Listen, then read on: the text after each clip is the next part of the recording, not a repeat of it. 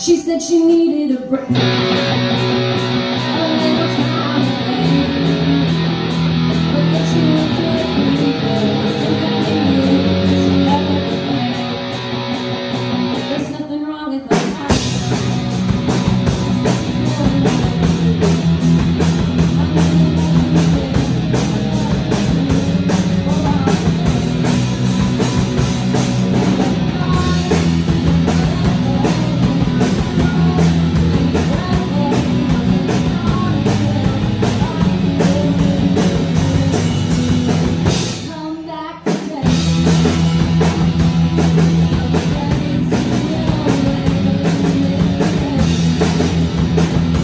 Thank you.